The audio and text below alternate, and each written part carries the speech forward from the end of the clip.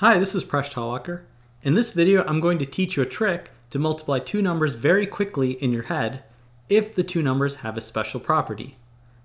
What you want to look for is you want to see if the two numbers have units digits which add up to 10 and they have the tens digit which is the same. So this sounds kind of complicated, but just go through some of the examples. It'll actually be a pretty impressive trick uh, when you can pull it off randomly. So let's do 83 times 87. This multiplication problem works because 3 plus 7 is 10, and the tens digit of 8 is the same between the two numbers. So the trick you want to do, the first step is you multiply the units digits together, which is 3 times 7, which gets 21. The second step is you take the tens digit and multiply it by one more than itself.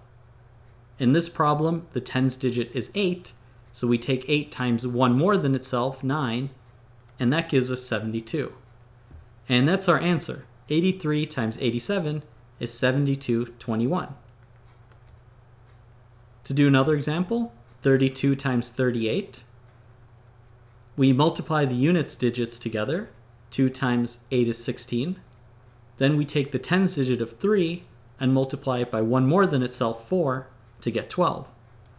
So 32 times 38 is 1216.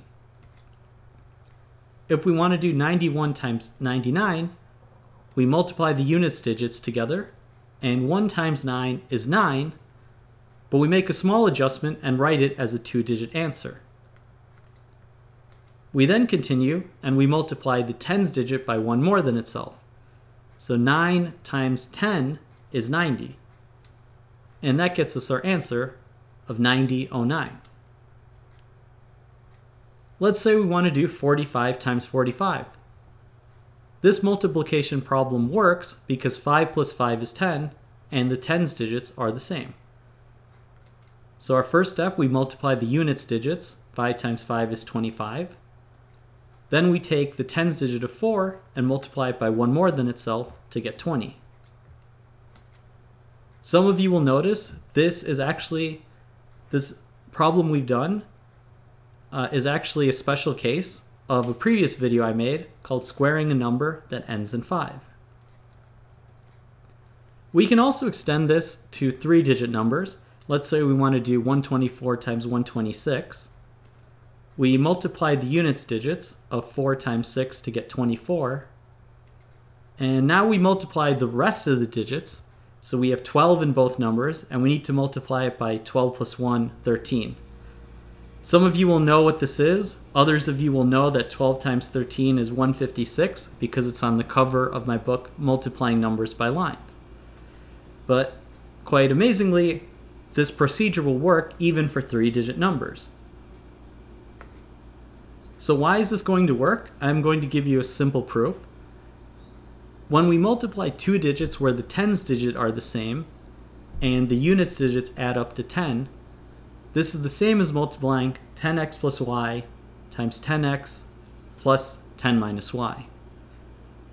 The green y and 10 minus y add up to 10, and the 10x is the same in both quantities. That's our tens digit. So we're going to go through some algebra. We first expand out the product, and we end up with several terms, four terms.